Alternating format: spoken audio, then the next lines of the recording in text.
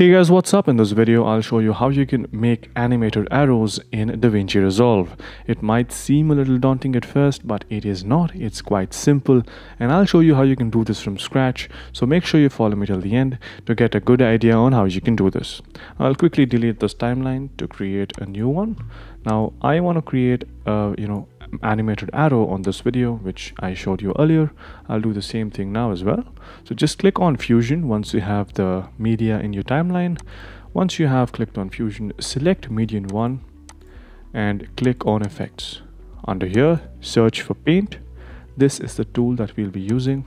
Once you select paint you'll see all these tools but just select polyline stroke. This is the tool that we're going to use and I'll create the line over here and you'll see that this is our line. Now to animate this line, just go to stroke controls and select the second write on dot and slide it all the way to the beginning and click on the keyframe button.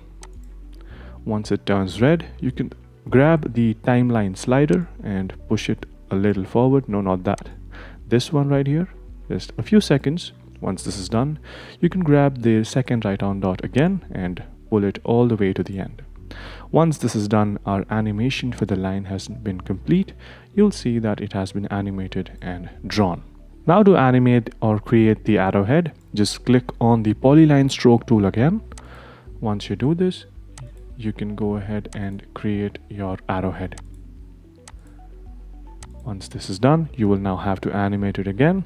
So again, just click on the second dot of the write on slider, pull it all the way to the start click on the keyframe button. When it turns red you can drag the timeline slider a little ahead like until here and again increase it all the way to the end. That is it. You have now animated both the line and the arrowhead. So you can see the results by going back to the edit section. I'll play the video. And voila we have now created our own animated arrow. You can do this for various other shapes as well. All these other tools are very nice. You can play around and get a lot of experience with them.